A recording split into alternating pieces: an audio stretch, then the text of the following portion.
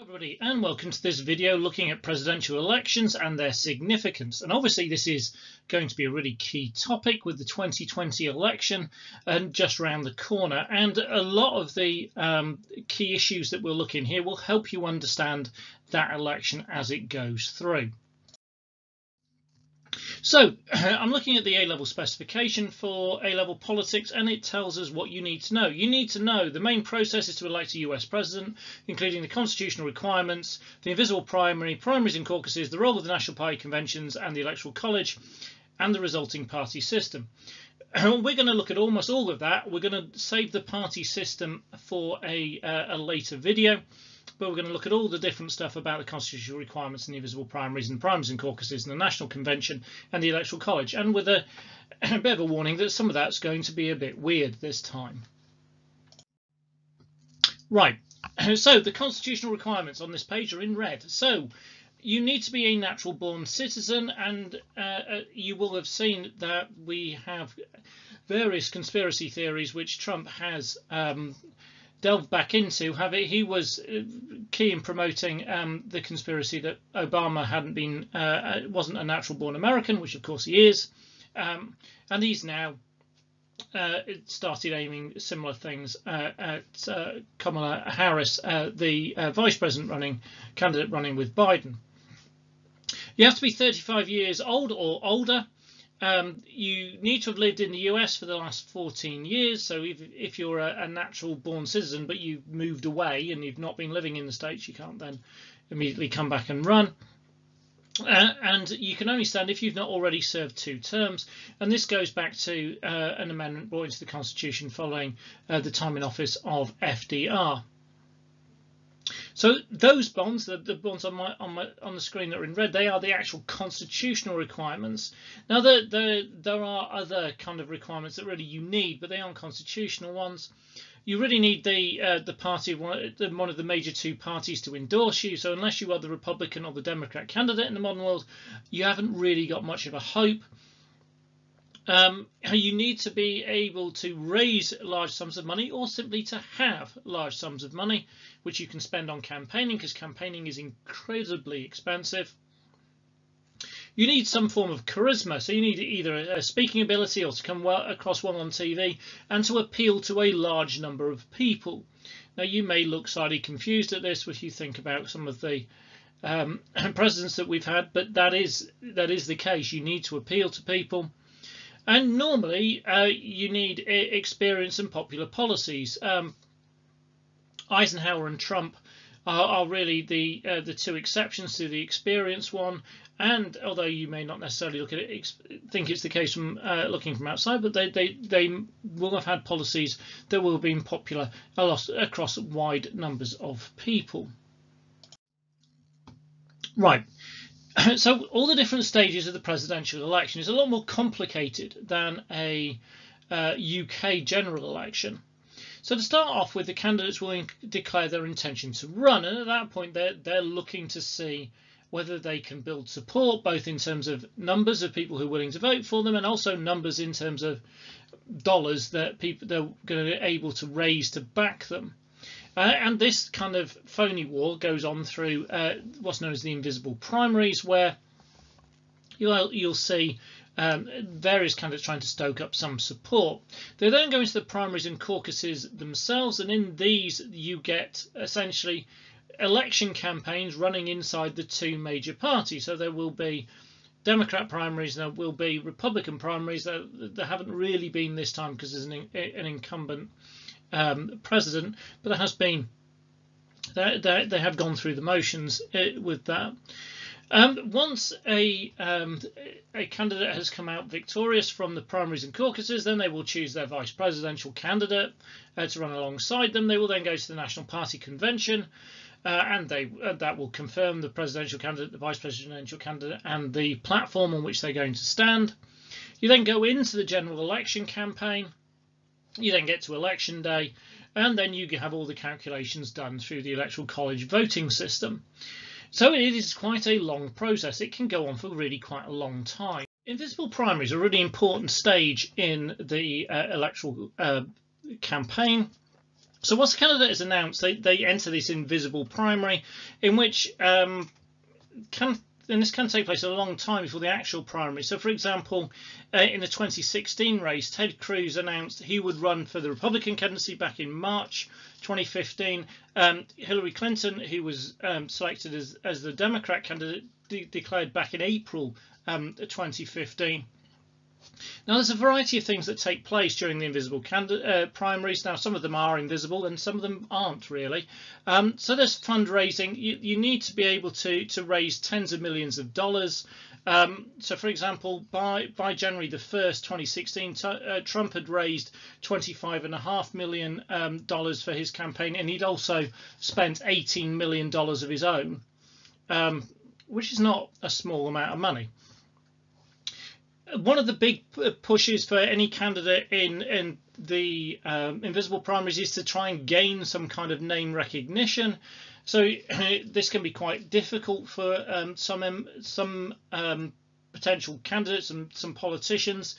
Um, you're trying to get mentioned in the media. You're trying to build some kind of momentum. Obviously, if you are instantly recognizable and have got a name already, either through politics or through other spheres, like a TV show like Trump did, then it is easier to build that kind of name recognition going up.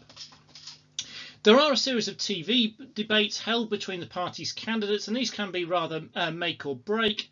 Uh, it tends to favour sound bites over real policies at this point, and we we do often get some um, rather unpleasant infighting in between candidates of the same party at this point in time.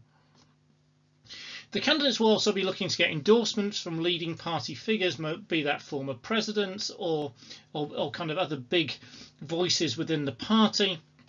There will be lots and lots of opinion polls being run uh, and they will be frequently done to, to measure the progress of different candidates during the primaries.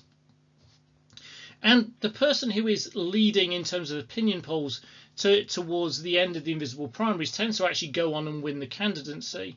Um, and that was not always the case. Only, for example, in 2008 was a slight oddity in this, where Hillary Clinton and uh, Rudy uh, Giuliani, who came out of the invisible primaries as the front runners, neither of them went on to gain the candidacy in, the, in that year. But normally, uh, the front runner does. Now, the 2020 invisible primaries are quite interesting. Um, it was quite clear that, that Trump would be the candidate uh, uh as he was unofficially endorsed by the Republican National Committee back in January 2019. there were some other candidates that announced, so um, uh, Bill Weld and then um, uh, Rocky De, La, De, De, Funcia. Um, I think I said that horribly wrong. Um, uh, Joe Walsh uh, in August 2019 uh, and Mark Sanford in September 2019. Now, none of these really gained any serious support. No real big hitter kind of uh, came in uh, to take on Trump, and therefore on the Republican side, this was fairly smooth.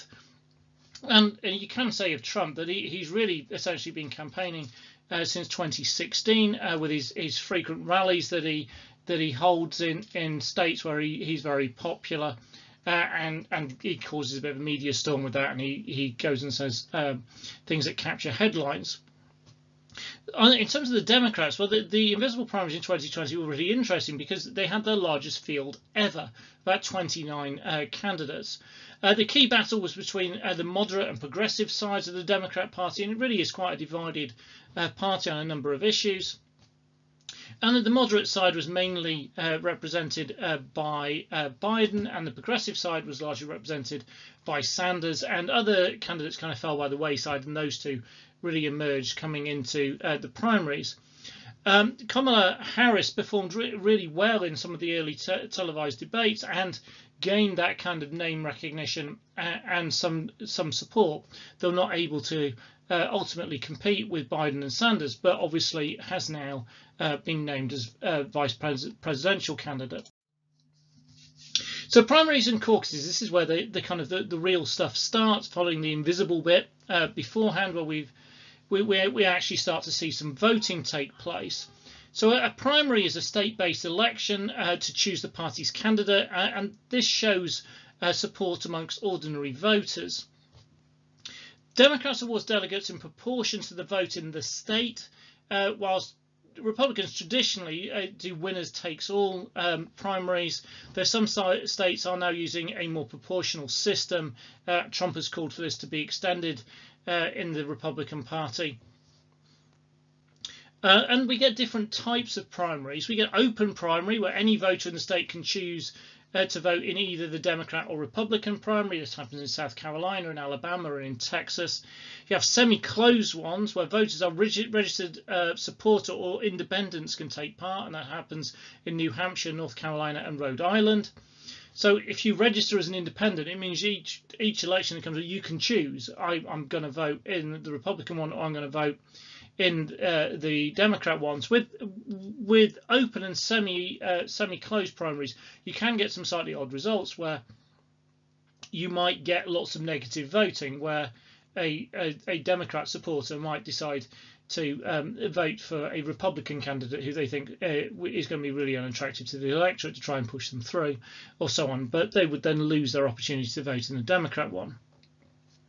In a closed primary, you need to have registered as a supporter of the party, uh, and this is generally done uh, many um, many months um, before the actual primary takes place. And this is used in Louisiana and Florida and New York. So primaries absolutely dominate, uh, and they they are probably the most democratic way of doing it. Obviously, the more open it is, the more dem- the more democratic it would appeal because it, it, you're trying to appeal across a wider group of people, and the open primaries tend to have the highest voter turnout. The other method used is the caucuses. Now, these happen as a series of public meetings. There's a debate and then there's a vote. Uh, the, the vote is non-secret. It Either tends to be through raising hands or standing in a particular part of the hall to to show which side that you support tends to be um, more popular with activists and, and, the, the very most committed voters, some of whom can be a little bit more more extreme than the norm. Uh, it tends to be used in, in low, more lowly populated states in Iowa, Nevada, and Colorado. It's definitely seen as being far less democratic than the primary. And one of the calls for making the system a bit more democratic is to, to remove caucuses uh, and move to primaries being used in all states. As you can also see, it is slightly confusing because you have different systems operating in different states. So primaries and caucuses, caucuses don't directly elect a candidate, but select delegates to go to the national convention. So again, and we get a lot of this with American politics, where, where you kind of get a two-stage um, electoral process, and we'll see it again when we do the electoral college. But so in the primary and the caucuses, you are not choosing the candidate directly; you are choosing delegates who will vote for that candidate in the national convention. Um, and Democrats have, have recently stopped super delegates who are unelected delegates, normally about 15% of the delegates in the, in the Democrat election, from voting on the first round in the in conventions. Now, the National Convention used to select the, well, does still select the candidate, but normally the result is well known before the convention. So that's quite a significant move. Um, different states hold primaries on different days. Um, some states go early to gain, gain, greater significance, Iowa and New Hampshire, for example. Um, some uh, group together, such as uh, uh, Super Tuesday, that takes place in February or March, which is the, the largest gathering of um, votes on the one day. There are advantages to the primary system. It, it, it means that uh, candidates have to show that they have a proven ability and electability. Um, it raises key political issues and tests them out, and this can be important for the platforms of the parties going into the main election.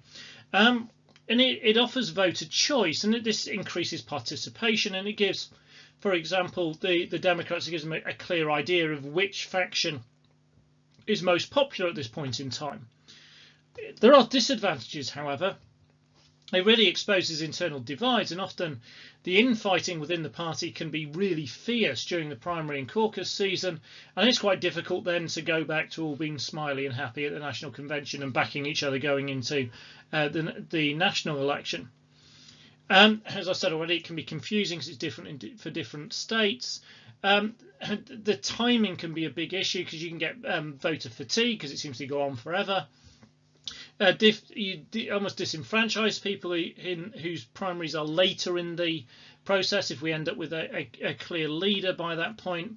Um, they are very, very expensive to run all through all these, covering all the distance over the states and all the different um, campaigns in the different states. And you do get um, uh, scandals, for example, the uh, Nevada uh, for the Democrats in 2016, there are where they have three stages to the selection process, and um, Clinton won the first stage, but then a lot of her, her, the people her delegates didn't turn up for the second stage, which meant that Sanders won the second stage, which he shouldn't have done because Clinton had won the initial vote, and then they changed the rules partway through, and Sanders delegates were deselected, and it was all very messy. Uh, and the Iowa caucus in in 2020 uh, again saw some real issues with the announcing of the result and the counting of the uh, the counting of the votes as it went through an, an app they were using. So they're, they're not free from controversy. Choosing a vice presidential candidate is obviously a really important stage, and we've seen this uh, very recently in in America with um, with Kamala Harris being chosen. They're, so they're chosen by the presidential candidate or the incumbent president. Uh, they're, they're, now generally announced before the national convention, where they, it used to be they were announced at convention. They need to be confirmed by a majority vote at the national convention, which is is is fairly routine uh, nowadays. Uh, their announcement is generally designed to give a boost to the presidential candidate in the polls. It's usually a very big media event, and it's particularly good if they can uh, keep some kind of um, debate going in the media about who's it going to be, and there's some element of surprise when it's announced, and then that can really capture people's imagination and give a bounce in the uh, in the polls. Sometimes uh, presidential candidates are looking for a balanced ticket, so uh, a president and vice president who attract support for different reasons. So uh, for example, you can see this with Trump and Pence, where Pence will will keep traditional Republicans on board, uh, whilst Trump was out trying to attract new voters or, or people who hadn't previously been voting to the Republican Party. It can be about party unity. So, I mean, we, we could see the, the Biden Harris ticket uh, as um, and a chance to kind of reconnect the progressives and the moderates together it can be about potential to govern. So not really about the election campaign, but about really what what happens uh, if they win. So, for example, Trump's complete political inexperience would be countered by uh, Pence's many years of experience, and that would be similar to the case with George W. Bush and Dick Cheney going back in 2000. And the balance ticket is probably the most important one of those, but they all play um, some uh, role.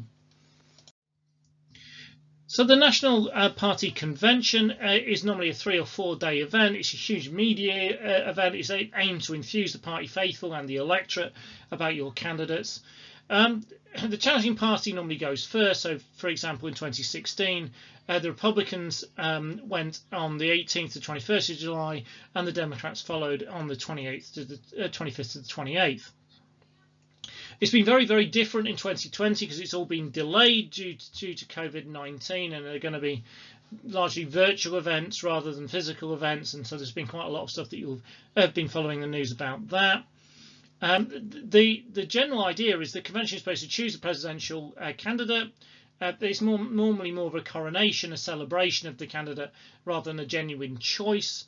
Uh, again, they they choose the vice president candidate, but this has normally been pre-announced, and and uh, that, that's largely been the case since 1988, and so it's simply confirming the vice presidential candidate, and they decide on the platform, which is a bit like a, a manifesto that we have in the UK. Uh, it's uh, put together by the platform committee. It's agreed by the national committee. Parties now try and avoid too many controversial debates on the um, on the convention floor over things. Um, but it's not always the case. Now, different parts of the uh, of the platform are called planks, and we've seen some controversial ones um, uh, recently.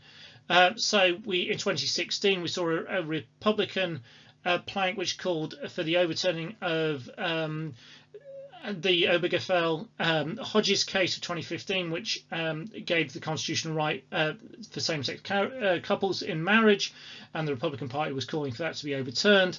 Uh, and in the Democrats' um, uh, platform, we saw a plank on, on a $15 an hour inflation-linked minimum wage, which is one of the key things that Sanders um, supporters wanted to get into the platform. And so these things can cause a big fuss and seem like a big deal at the time. However, the platform will play a very little role in the election following and, and probably in the following administration. Um, the convention's real job is to create a bounce in the opinion polls. If a if a candidate has sees something put on the platform that they don't really like, then they're not going to campaign on it. They're not going to then uh, put it into place when they win. So we've had the national convention, so we go on to the general election campaign. This generally starts on uh, Labour Day, which is the first Monday in September, and runs until the election, which is in early November. It's a nine-week campaign, which again in itself sounds like a lot, really long one. But you think we've had invisible primaries and primaries before this, we really are looking into something of fairly epic length. Uh, the media is hugely important in it. Um, there seems to be this tradition of the October surprise. In 2000, it was Bush's drink driving conviction being leaked to the media. In 2016, it was the FBI director uh, uh, re reopening an investigation to Hillary Clinton over her use of a private email server. Uh, and so we normally get something which kind of shakes it all up in the middle of the campaign. TV presidential debates, and there is an argument about how uh, impactful these are. There's normally three three presidential ones and one vice presidential one. They can take place in a variety of different styles. Um, they tend to be very important for the challengers who tend to be less well known than any incumbent. So in 2016, we see it, it's quite a good example of it, and these presidential debates attract a lot of attention because you've got you've not got an incumbent, so you've got um, two essentially new candidates. It can make the difference if the candidate really messes up, and this was seen as one of the reasons why Gore lost in 2000. However, the argument has really re-arisen about how significant they are, because although more people watched in 2016 than had been the case in previous elections, the polls quite firmly said that Clinton had won all three of the debates, but she lost the election. Now, sound bites tend to be uh, to get replayed over and over again by the media and on social media, and so they can actually be more important than any real serious um, uh, policy discussion. And and really, they are now seen by many political commentators as being more of a show than anything where you're going to get any really serious, hard-hitting political debate. Election finances are a rather mind-blowing um, topic. Uh, since the uh, Federal Election Act of 1974, which followed the Watergate um, scandal, uh, there's been restrictions on contributions that people and corporations and unions could give and various other aspects of, of uh, federal uh, finance for federal elections. And there's a court case in 2014 which actually struck down the limits on a lot of campaign uh, contributions, and so the effectiveness of that act has been really damaged.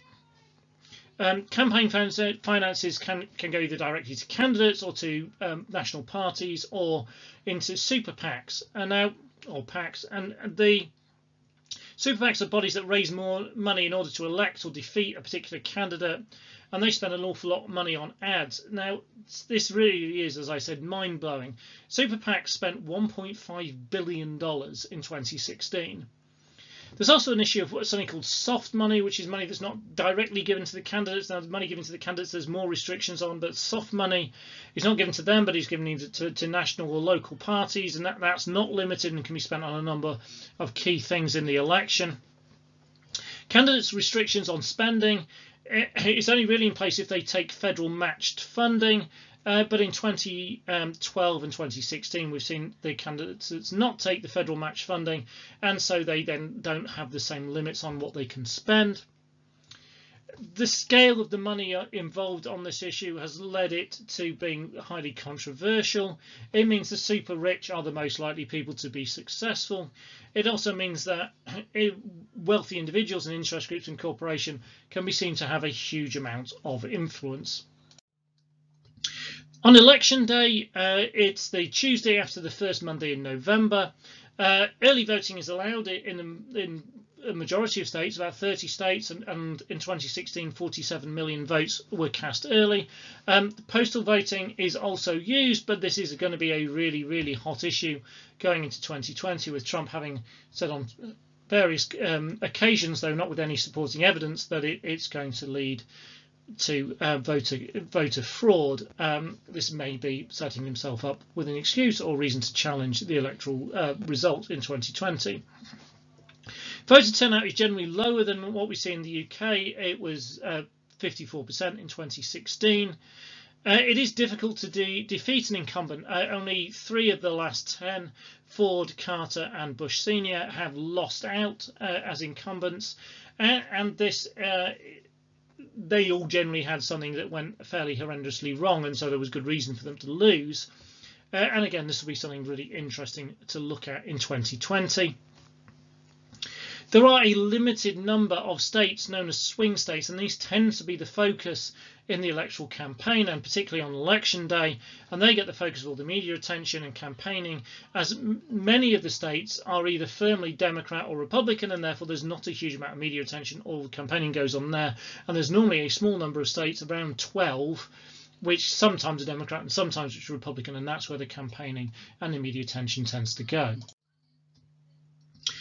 Now, the actual calculation of the results is not very straightforward. It's not simply a case of winning more votes than your opponent. So, for example, Hillary Clinton beat Trump in the popular vote in 2016, but lost on the Electoral College. Now, each state has a value in the Electoral College, a number of votes, and it is made up of the number of senators, which is always two, added to the number of members of the House of Representatives uh, which is determined by the population size of that state. So, for example, uh, California and Texas have far more uh, representatives than um, Rhode Island or uh, Alaska. It does lead this calculation to a distortion of population because it means that the electoral college votes um, you get disproportionately high number in the very small states, the states with very small populations, compared to the states with very large uh, populations.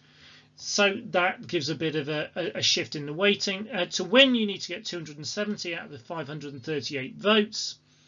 Most states are winner takes all. The two exceptions are Maine and Nebraska, uh, which use a, a kind of proportional system. Uh, electors meet in their state capital on the Monday after the second Wednesday in December and cast their votes. Votes. There is a risk of rogue or faithless electors. Well, there were seven of these in 2016. Um, the vice president is then sent the votes and they count them in early January. Remember, this system was set up um, a couple of hundred years ago when travel and communication were a lot slower. In a case of there being no majority, which has only happened twice, um, uh, the president is elected by the House, one, one vote per state, and the vice president is selected by the Senate. Right, it is a long and complicated system, which means that this is a much longer video than I normally like to do, but I hope it's been useful for you. Uh, if it has, then please like, leave me uh, any comments, and if you haven't done so already, please subscribe to um, my channel. This A-Level Politics playlist in particular is aiming at covering the entire A-Level specification, so I hope will prove to be really helpful to you in your study and or revision. Thank you very much for watching.